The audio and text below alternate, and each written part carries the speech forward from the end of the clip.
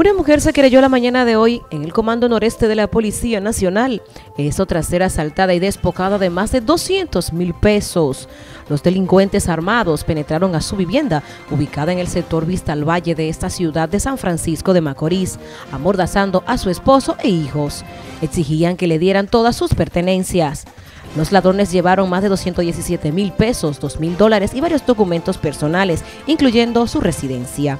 Indicó que los asaltantes le propinaron varios golpes en la cabeza y posteriormente huyeron del lugar. Este se suma a hechos delictivos ocurridos en esa ciudad en los últimos días.